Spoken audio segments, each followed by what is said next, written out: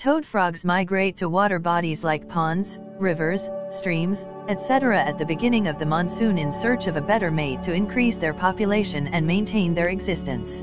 These frogs, like most animals such as snakes, grasshoppers, or spiders, shed their manies from time to time. But they don't let their mantles go to waste, but eat them in a struggling way with the help of their front paws and mouth, so that the nutritious protein of their skin should not be wasted and benefits their own body. Such a sight is very rare, if you have ever seen something like this, it means you are very lucky.